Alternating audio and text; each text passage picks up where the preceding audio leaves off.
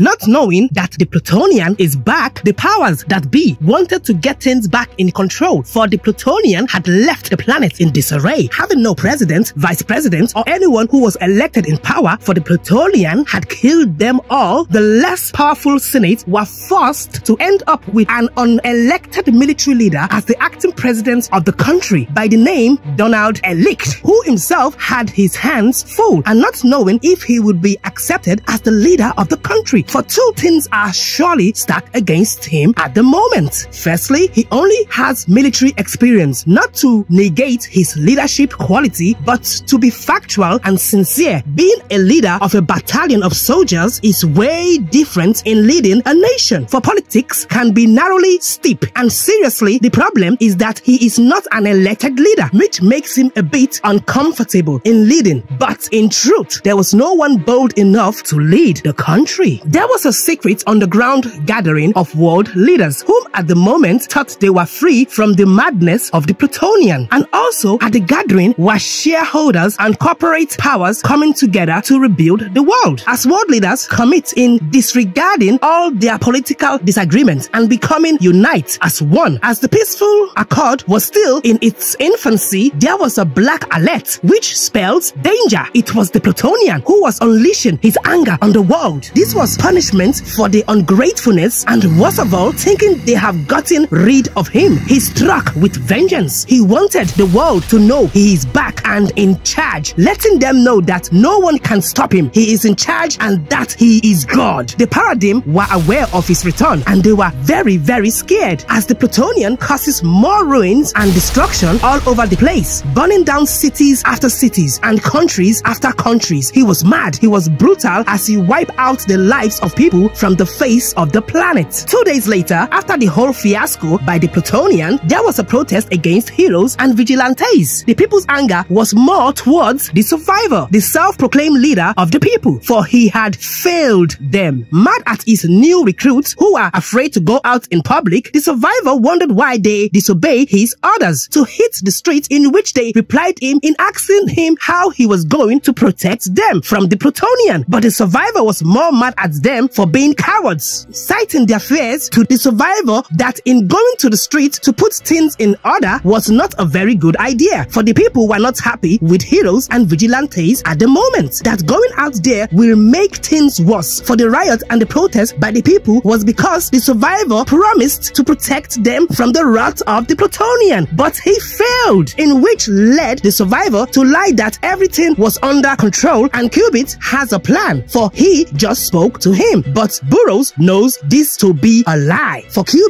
was nowhere to be found. And Survivor mentally warned him to keep mute and say nothing. In North Korea, the only place left where the Plutonian didn't unleash his rage, after sexual intercourse with Kota, the Plutonian wasn't feeling her. In fact, he thought Kota was different back in Gehnom, in which infuriated her as she snared at the Plutonian, saying to him that he was weaker back in Gehnom. In a rage, seeing this as an insult to him, grabbed Kota by the neck as he withheld from punching her, wondered why she withheld in scratching herself when he was about to attack her, in which she told him that she doesn't see him as an opponent and asked him a question no one has ever asked him. What does the Plutonian want from the world? The rebellion of the new recruits to the paradigm continued as they refused to show their face in public to keep the peace. This surprised the survivor who was shocked that they were afraid of ordinary people, but that wasn't their point. They were afraid of the Plutonian. At the same time, mentally communicating with In telling him the whereabouts of Qubit and Kaidan, in which Burrows let him know that he can't find them. All of a sudden, there was a blast and an explosion at the walls of the Paradigm's headquarters, followed by a very loud screech from Modanse as the Plutonian and his super allies bashed their way into the building. The Plutonian found it funny that the new recruits to the Paradigm were crooks and villains he sent to prison. As the survivor blasted an unaffected con, the Plutonian grabbed one of the new recruits and threw him at the survivor to deflect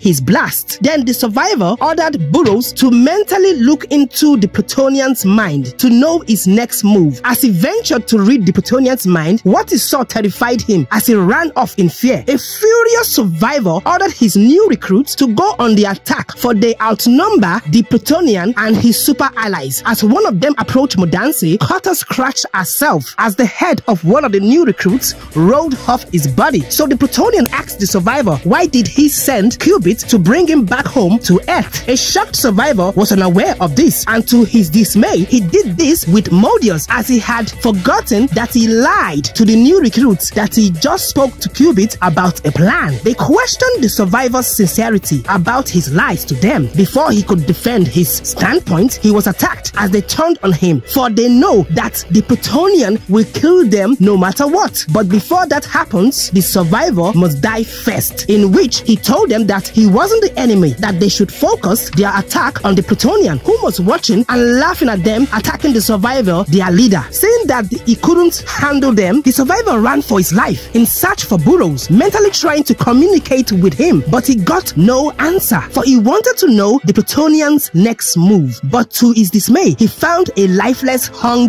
Burrows.